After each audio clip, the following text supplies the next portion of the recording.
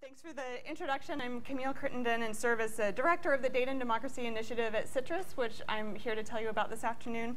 I also serve as director, deputy director of CITRIS overall. So I work with a faculty director there uh, who's an electrical engineer, and through Data and Democracy, I also work with a, a faculty director um, on that so I thought in the next, I don't know, half hour, 45 minutes or so, I would tell you about CITRIS as an organization briefly to kind of situate the Data and Democracy Initiative within the scope of that work.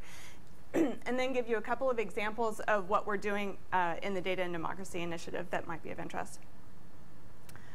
So here's what we're just going to talk about. CITRIS is an acronym that is quite long and unwieldy, standing for the Center for IT Research in the Interest of Society. It was founded in about 2001, back when there was more money in the state government than there had been subsequently.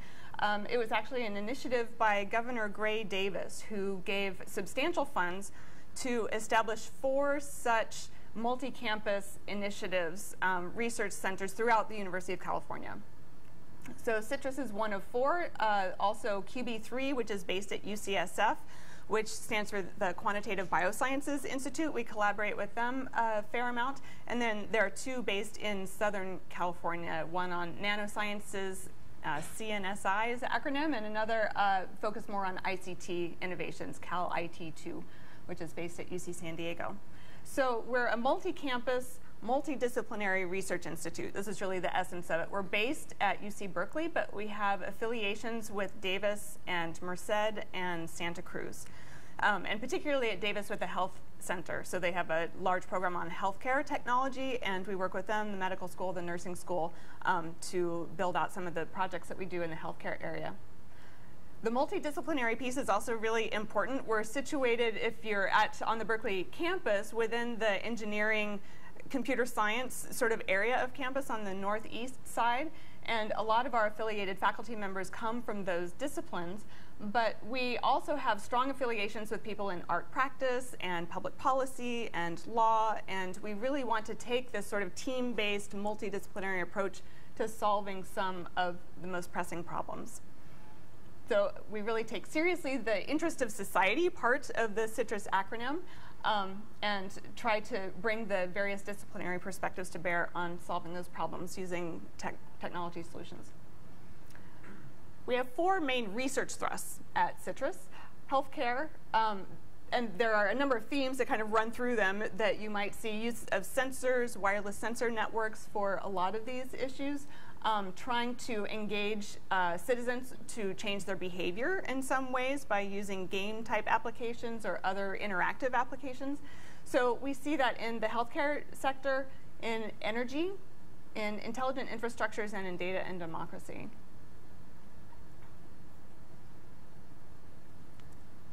The Data and Democracy Initiative is probably the most recent one to be established at CITRIS. As I said, it was started about 12 or 13 years ago, and UC Berkeley has had a long history in developing new technology for energy applications and in some of these other um, hard technology uh, hardware applications. The Data Democracy Initiative was started just a couple of years ago, and as Vivek mentioned, I came over from the Human Rights Center. That was my um, more immediate background.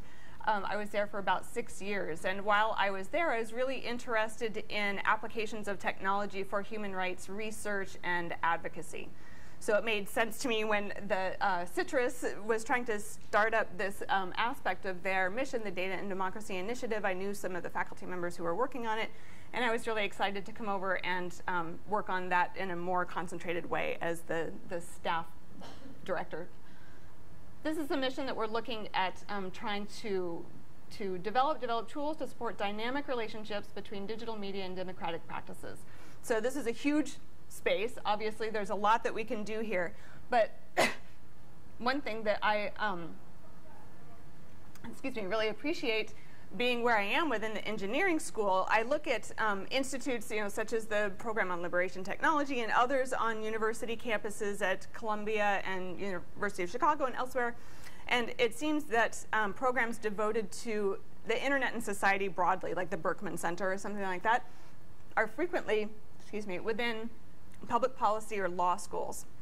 So what kind of sets the Data and Democracy Initiative apart is that we are so closely affiliated with the engineering side and we can actually create tools and create applications that hopefully will support some of the other initiatives that um, people are working on in these other areas, more on the policy analysis or um, research side.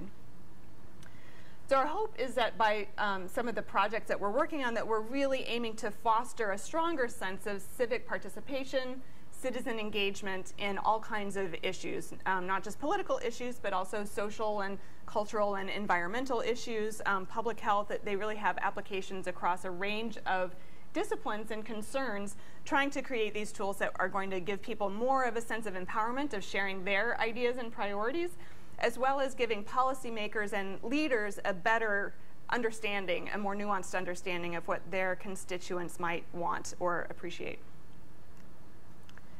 So we have a small advisory board. These are some of the people who are on our um, on the DDI advisory board. Um, people from government and you know technology thinkers, people who are active in in various um, NGOs. And then this is the team. It's a fairly small team, just uh, on the staff side, three of us. Ken Goldberg is a faculty director. You might know of his work in robotics, or um, he's in the IEOR, Industrial Engineering and Operations Research side uh, at UC Berkeley. Myself and we have a postdoc, Brandie Nonnecke, who recently joined us. Then we have just a handful of faculty members. As I mentioned, we have affiliations with the four campuses within CITRIS, and so we really wanted to be sure that we had representation from those campuses on our leadership um, advisory group, the Faculty Council thinking about what DDI's contribution to the interest of society piece of CITRIS's mission is, the things that we're thinking about are creating new tools for civic engagement in a whole range of topic areas, as I mentioned. And so we see the possibility, you know, huge possibilities that, um, for application across a number of subject areas. The problem is never that we have too little to do. you know, there's always far too much to do. Um, and we're really grateful for some of the partnerships that we have, um, including with Liberation Technology Program and others, uh, implementing organizations on the ground to help us really test out and develop some of the tools and apps that we're, um, that we're creating. So I'd like to spend um, the next little while talking about two specific projects. One is called the Rashomon Project. This was developed, it was really sparked, you'll see. It's a Berkeley campus picture, isn't it? Yes, exactly. I should say that. This is the Mario Savio here on the right. Um, this is, say, 1964, probably, um, 65, um, home of the free speech movement, so you'll see the connections to that movement there. The idea of the Rashomon project, as it says in the subtitle, is using the power of people's cell phones that have, you know, everybody has their video cameras on their cell phone now, um, to be able to aggregate uh, individual perspectives of a single contested event. So I'll, I'll, tell you a little bit more about that there. The, the project was really um, sparked by, you probably remember this footage from the fall of 2011 uh, at the UC Davis campus. This was when there were a lot of protests around student tuition hikes, and there were sit-ins and activism uh, um, regarding that. And the campus security force took extreme action by pepper spraying these seated activists. So what's interesting about this is also to note all the documentation of it. Um, so it's not just you have the protesters on the ground, you have the security forces who are taking action, but then you often have observers with either their professional devices or just cell phone cameras. You can see the guy holding up in the back um, trying to get footage of this event. yeah. So what happens to that footage after it's taken or those photos? People tend to upload it to their own site. You might put it on your Facebook page or share it on Vimeo or uh, YouTube. Um, but it's hard from any single account to really get a sense of what the full uh, situation was. So what we wanted to do, it, so here's an example. You have um, you know, all of these different uh, places where it might be, be uploaded. What we wanted to do was to be able to aggregate these and to pull together in various ways, and I can go into the technology behind it a little bit, um, to pull together the various videos and align them. We were originally hoping that we would be able to use the metadata in the files to have some automation in it to align the different files so that um, they could be synchronized. You can line them up, you can stop at certain places if you want to rewind and have it make a, a, short loop if there's a particular moment of interest, um, that you would be able to see from different perspectives what was happening. So the interesting thing is that this has seen support not just from the activist groups who you know always want to show how they're um, you know being perpetrated against by the by the security forces but actually the campus security was interested in supporting it too because sometimes they felt like their perspective was not getting out um, that they had been taunted or harassed by the activists and so you know maybe that prompted a particular action that came out in some other um, form. But regardless, this was a way for us to get a, a more rounded perspective and not just a single view of what happened. As it turns out, it has been a challenge actually to get uh, multiple videos of people to send them to us. That was the original idea that we would have people send us their videos and then we could kind of curate it and put it all up within a short time frame. Um, that's the easiest way to get the metadata out of the files is to have the original raw footage because if you post something on YouTube or elsewhere, often that data is stripped out. Turns out that's a little bit difficult. It takes a lot of coordination with the activist groups themselves, you know, communications in advance, trying to know if there's going to be a certain point of contention that would benefit from a display like this. So what we have done is to figure out a way to scrape the files from YouTube or to collect them files that have already been posted elsewhere. And the automation piece that comes into it there that we're playing with is to try to use um, audio cues to try to align them um, and then do some fine tuning of it. So you can find out more about it at the Rashomon, RashomonProject.org. Um, we have a website. We've gotten some nice funding from the Knight Foundation um, to do some work on it. It got some funding also through Mozilla. They had a challenge that we were able to um, participate in. So it's it's been an interesting um, experiment using video footage for um, trying to promote democracy, freedom of expression. We think there would be a lot of applications. Oh, looks like it got cut off a little bit there. You know, the, the examples that we have here are domestic, but clearly there are many international applications, especially with the proliferation of cell phones in developing countries or the Middle East, you know, places where there is a lot of unrest. Um, in Syria, some really interesting work has been done, as you might know, trying to match up um, social media footage, so from cell phones and such, with also with satellite footage and with accounts on the ground. Um, Amnesty International and Human Rights Watch have been doing some interesting work in that regard as well. Um, so we're hoping that we could tap into you know some of the, the applications there. When I spoke at an opportunity earlier, we were thinking about, well, so what are the opportunities here with this ubiquitous kind of um, video footage, not just from citizen cell phones now, but also from um, monitoring, security camera monitoring, and um, this proliferation of surveillance video. Some opportunities are to aid law enforcement in getting evidence. Um, that's one of the goals, actually, of the Rashomon project, is that, um, especially because of my background at the Human Rights Center, I'm very attuned to the International Criminal Court and what could be brought to bear as evidence in some of these cases. And the more versions of a single story you can put together, it can serve as collaborative um, corroborating evidence. Um, so it can help to uh, reduce costs for witness testimony, say. Um, if you can have multiple video accounts, it's not as expensive to try to bring live witnesses. It's not as um, dangerous for the witnesses if you can get multiple accounts through video. It's still a little bit untested in the courts. Um, there is not much precedent for using video as evidence, and it at least until now, has been has required a lot of authentication, almost frame by frame. That's been the sort of level of due diligence that the defense has required, um, because they're always going to challenge what the what the evidence is. But we're hoping that if we can get the right kind of footage and be able to display it in this kind of persuasive way, that it will be useful in a criminal court or even an um, investigative commission kind of context these are some other um, benefits of using this kind of cell phone footage. Sometimes, as you know, the traditional media or broadcast media might not be able to reach into places, especially in repressive um, repressive environments. And by having this kind of citizen footage, cell phone footage, it can often reveal things that you wouldn't necessarily see otherwise. I saw this morning on the news actually um, the cell phone footage of, of BART police using a taser on someone on the BART train.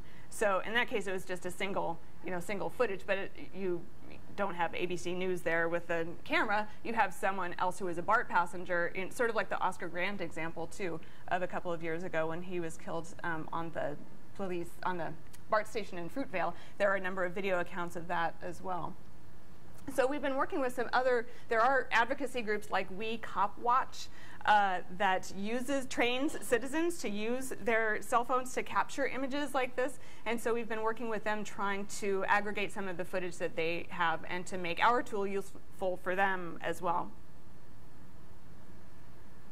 Some questions about surveillance video, um, not necessarily the um, cell phone video, but just overall to think about the privacy issues. I mean, this is really an issue also in protecting human rights activists, and we considered this in the Rashomon project as well. Initially, we had played around with some of the automated face blurring technology. Um, the, there are folks at Witness, which is an organization that does a lot of um, training for using video in human rights kind of contexts. Um, and they have gone to developing very strong metadata standards in order to try to strengthen the, um, the use of video as evidence to say, you know, we have all this information about exactly where it was taken, when it was taken, you know, what perspective using the accelerometers and stuff to try to see exactly how, how it was taken. Um, in an earlier iteration of what they called InformaCam, that's their product, um, they had another version that would blur faces called ObscuraCam. And so we were trying to work with that on face blurring. YouTube also has a face blurring um, service that you can apply. Um, we have left that behind for the moment because we also realize that as much as we can try to protect the identities of the people involved, if there's multiple versions of footage of people out there, you're gonna, still going to be able to identify people. Um, and in the US, that's probably less uh, of a danger, but in the Middle East, it can really be a danger, or other places where there's um, you know, really oppressive governments who would be interesting, interested in retaliating either against the perpetrators, uh, against the activists themselves, or against their family members, perhaps. There's also interesting um, research about what the effectiveness of surveillance video on preventing crime. You would think that, okay, you put up these traffic cams or the security cams, that um, it's going to diminish crime levels, but there's been some interesting research that says that that's not necessarily the case, that maybe it just shifts where the crimes happen to more private um, or out of out of view areas. So it might it might reduce the crime in this spot where the cameras are, but unless you're going to have cameras everywhere, it might not be effective in um, reducing crime overall. This was an event that we had um, with some other folks from YouTube and Witness, uh, the CopWatch organization, back in December. So um, if you're interested in learning more about this, it's also on the CITRIS YouTube channel, um, the video of it. It was about an hour and a half or so event that we had um, last, last December in 2012. So before I go on, I might just stop there to see if you have questions or um, thoughts about the Rashomon project.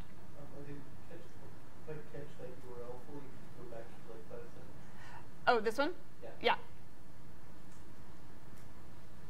Yes I want to get a copy of all your software for this uh, watch program. Mm-hmm.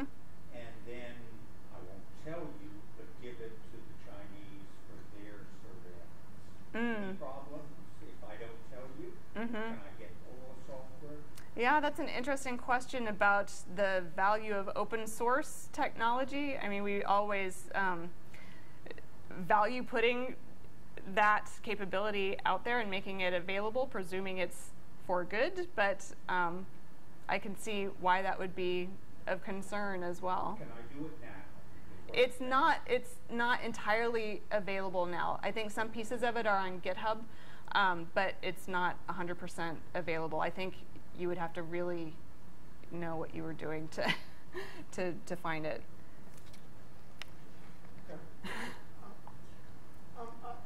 Other day I was in White Plaza and came across some youngsters experimenting with an omnidirectional virtual reality camera. Which Hmm. to say right out in Palo Alto, they're busy putting them together. Okay, and so video is about to evolve into something far richer, uh, involving 3D models. And Yeah. so what the vision you're chasing will become the compositing of multiple vantage points Mhm. from omnidirectional 3D imaging modeler. Mhm. And I'm just wondering, how, do you folks see that coming? And uh, I mean, is there potential collaboration with the folks right out here in Palo Alto? Yeah, absolutely. In fact, that's one of the slides that didn't make it into this presentation, but that is the idea for um, a future version of the Rashomon project is to work with scientists who are doing this kind of 3D modeling because to recreate a scene could also be very useful for commissions of investigation. Um, also to try to map um, using some of the tools in the uh, cell phones, the perspectives or the directions of the the people who are taking the footage, that would be an interesting way to do it too, to get sort of the bird's eye view of, of what's happening. Yeah, definitely. Other thoughts? Uh-huh. I actually wondered if, yeah, you were gonna integrate like maps and GIS in the future, and also the use of like GIS in public health ec- uh, equity advocacy, like in everyday life processes rather than only the um, demonstrations and protests where it's kind of those critical moments. or Mhm. it's um, coded as the critical moments. Yeah. Well, the challenge with this, I think our, our first instinct would be to use it in these kind of um, social justice instances where there's a discrete time uh, that we could focus on. And that has been a challenge, actually. Like, we tried to work with the Occupy movement some. Um, and unless you know that there's going to be a, a confrontation, um, often you get hours of footage where, of people marching or yelling. And, you know, it's not really all that useful to, to have it in a format like this. Um, so we would have to consider what the benefit is of having a, a kind of prolonged um, documentation. What's your intention for where these recreations end up in working with news organisations, or how do you plan to distribute it? Will it just be on your website? Uh, well, it would be open to news organizations or to advocacy groups, or it would be on our website. You know, we would be able to make it open to journalists, you know, hopefully broadcast journalists, maybe with an online component. That might be a good place for it.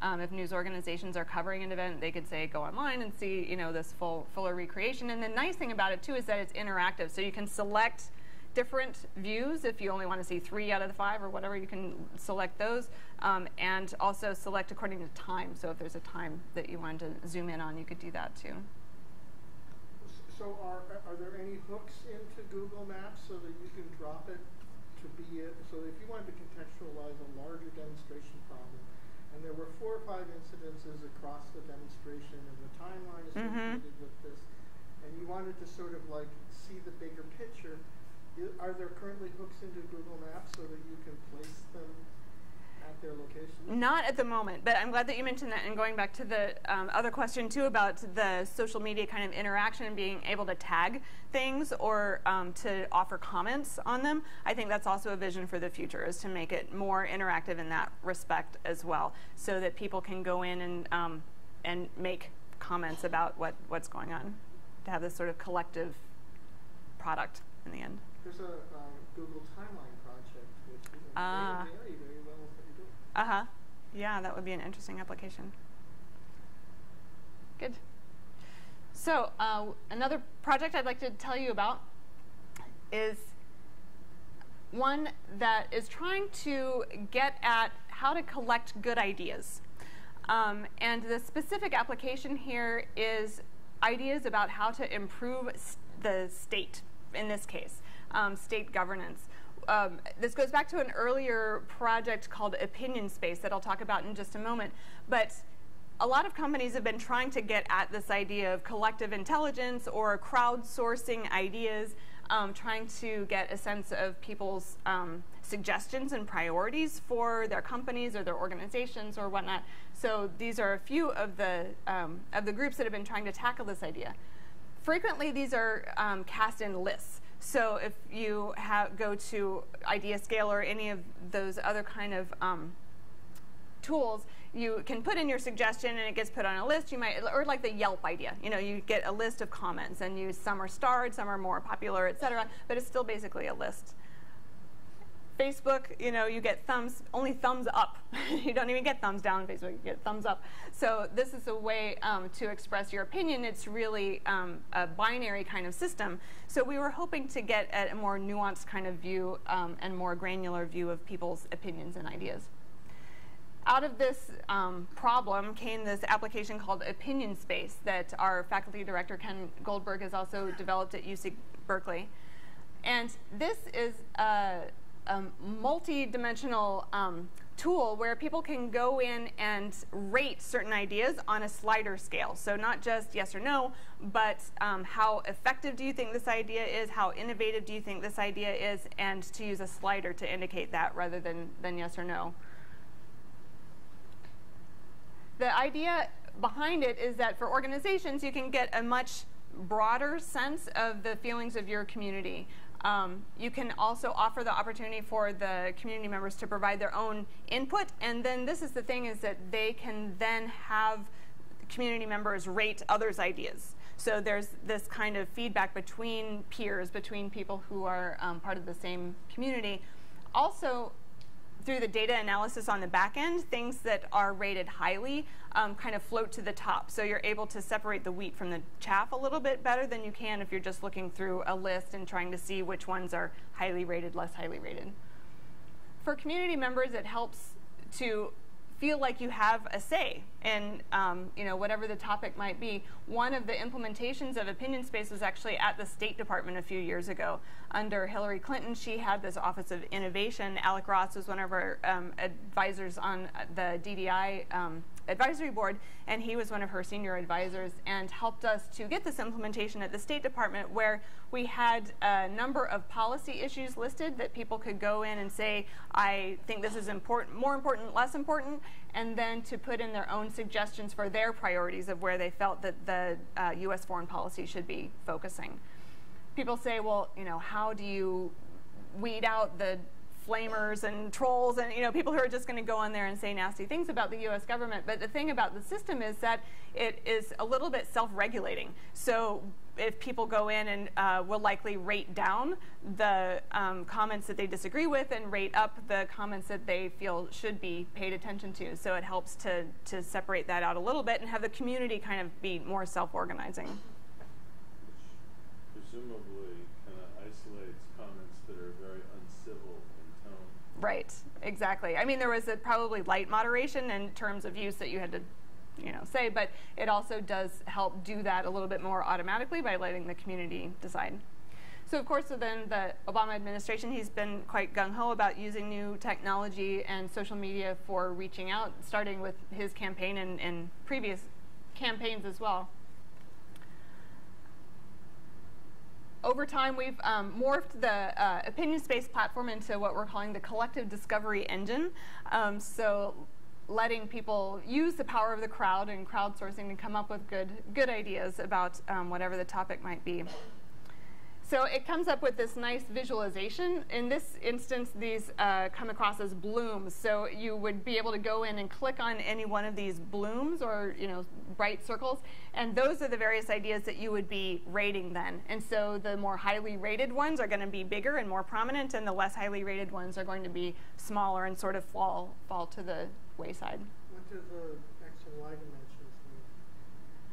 It's multi-dimensional, so it's not exactly X and Y, but um, it is collapsed a number of dimensions. But it does still represent um, the affiliation between opinions. So people whose opinion are closest to you are going to be show up closer to your bubble than people whose opinions are farther away from yours.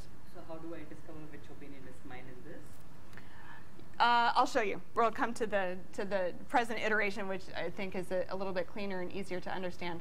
So in this case, we're actually developing what we're calling the California Report Card. And it's based on this idea of rating the government or rating any institution about um, how well they're performing. It came from this idea of the Citizen Report Card, which has been around for quite some time, um, and is a similar kind of thing using the familiar metrics of A through F um, to grade. And this is a, an easy, easy thing to grasp, but often the report card is coming out from some authoritative organization. You know, they've gone out and they've done the research, they've done the metrics on how well organizations are performing according to certain benchmarks, but it's not a community-based kind of exercise. It's more of like a top-down kind of exercise. Um, so what we have in mind is something that's a little bit more grassroots and where um, students or community members themselves are going to be providing the grading and the feedback. So we've come up with this metaphor of CAFE, the collective assessment and feedback engine that we're deploying here in this instance in California, but we're also hoping to scale internationally and find applications um, in humanitarian contexts or others um, internationally. Some of the challenges there, of course, as you probably recognize, are in the technology itself. So what about in these low resource communities who might not have smartphones? Um, can we create something for, uh, say, SMS type feature phones or even voice recognition um, to be able to use a similar kind of platform? These are some of the areas that we're looking to, to deploy it. The Philippines, we've been working with a group there at the um, De La Salle University, and um, then in California with Gavin Newsom's office, which I'll tell you about right now. In California. So we're working with Gavin Newsom and his office to deploy this for California. Um, it launched about three weeks ago or so, and we've had about 1,200 people participate so far, and about 400 something people have left comments and remarks. Um, and I'll show you how, how it works. Um, we've had somewhat of a relationship with Gavin Newsom's office. We had this conference back in September, Can Open Data Improve Democratic Governance? So this is another area that I'm very interested in thinking about and helping to promote research on. We don't do a lot of research on open data specifically at CITRIS, but um, I like to hold conferences and bring people together who are doing smart work um, around this just to get people thinking about it. As you probably know, uh, Newsom himself is quite a proponent of the use of new technology and social media for government. He wrote this book, Citizenville, How to Take the Town Square Digital and Reinvent Government. And so he has um, really championed the possibility of this type of grassroots interaction through new technology and new media. So here's the California report card, um, and I encourage you now or at a later time to take out your smartphone if you like to and check it out. Um, CaliforniaReportCard.org. It's been designed for mobile devices, so the, the um, main URL, if you go to the full um, uh, full screen, maybe if you're at your laptop or desktop and see the, the full website, but if you go to your mobile device, you'll see it's been optimized for that. So what it is, it has two parts, as I described a little bit earlier um, there are six issues that are facing California. Um, quality of K through 12 education, implementation of the Affordable Care Act, access to services for immigrants, and a few others.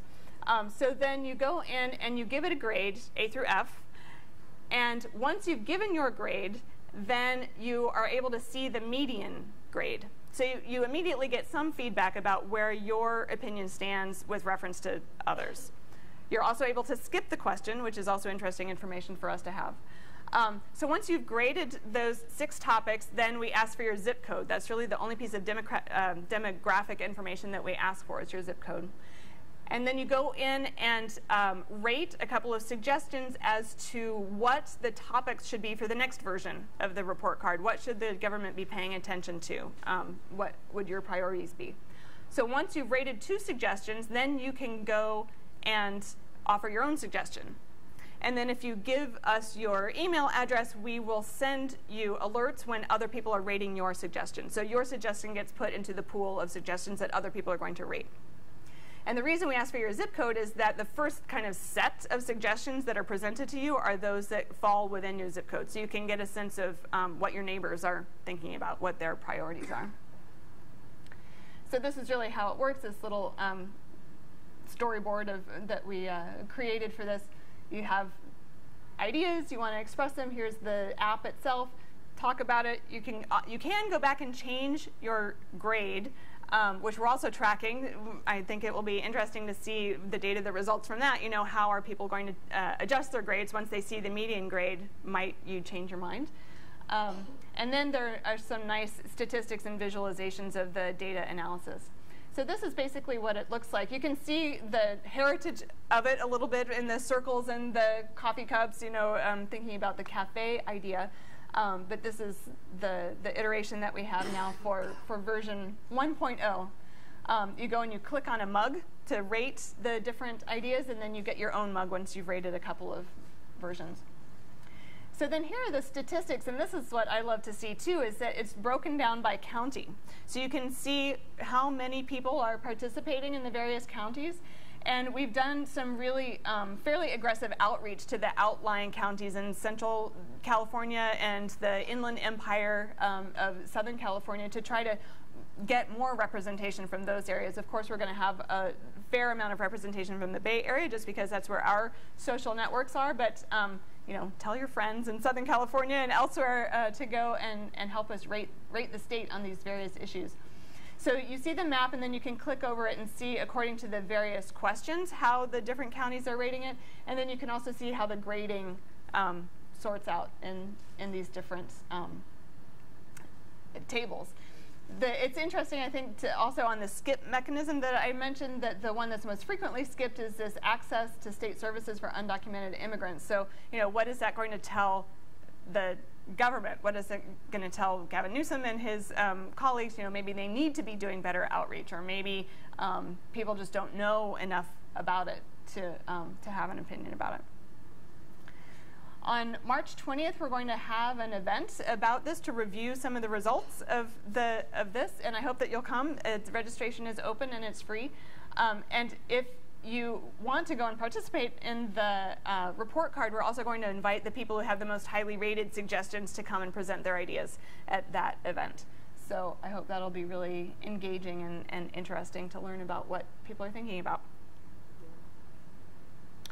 I also wanted to mention just before that event um, and to thank the Program on Liberation Technology for co-sponsoring this event on um, visual privacy and surveillance. This is another one that we're hosting in early March, March 6th. So you probably know the work of Rebecca MacKinnon. Um, Trevor Paglen is a UC Berkeley graduate. He's a geographer and visual artist. He's done really interesting work on, on visual surveillance and documenting um, CIA black sites according to FAA flight patterns. Um, it's really fascinating stuff. Um, so then we'll have a couple of panel presentations regarding policy and technology and um, a sort of artistic response to some um, some of these policies. There's something called surveillance art that I had no idea about before I started researching this. Is that, what, is that surveillance art up there in the corner? I don't know. Maybe that's surveillance graphic design. so that's uh, the examples that I had for today. I'd be happy to talk more about some of our other projects, but um, also happy to answer questions. And I thank you for your attention and interest.